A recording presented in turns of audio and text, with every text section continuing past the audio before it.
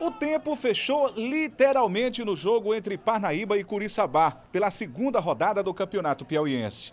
Clima tenso, jogo duro, os ânimos se acirraram. O que aconteceu hoje aqui não é futebol, não. Esse senhor inventou.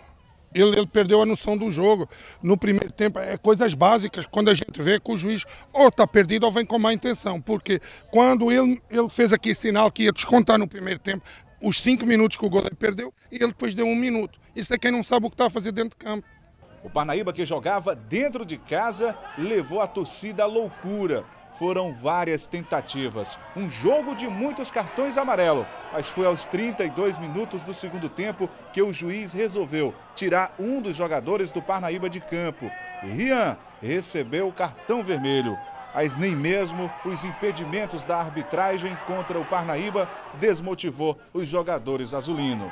É dentro de casa, é fora de casa, todo mundo viu quanto o River, a arbitragem, né? Não vou também colocar a culpa só neles, que a gente teve chance, não fizemos. A gente tentou bastante, finalizou bastante, a bola não entrou. Agora é levantar a cabeça e trabalhar para sábado conseguir a vitória. A arbitragem precisou sair escoltada pela polícia. A partida saiu 0 a 0 para as duas equipes. O resultado deixou a equipe do Coriçabá motivada. O calor da partida foi esse, muito pegado, e eles corresponderam bem, olhando as faltas, é, chegadas um pouco mais duras. Então acho que não tem muita coisa a reclamar não, fizeram bem, fizeram o papel deles bem.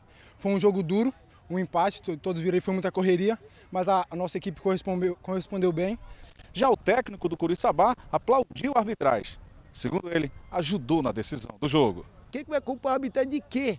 Vocês não puderam, deram sorte que não perderam o jogo. Se eu tenho dois, teve com 12 jogadores para o campo. Se eu tenho mais dois jogadores, eu ganhava o jogo deles aí, que já estava morto aqui atrás, o zagueiro todo arrastando, culpado. Ainda não vi uma arbitragem, fui jogador, sou treinador, nunca vi uma arbitragem tão especial igual essa foi de hoje.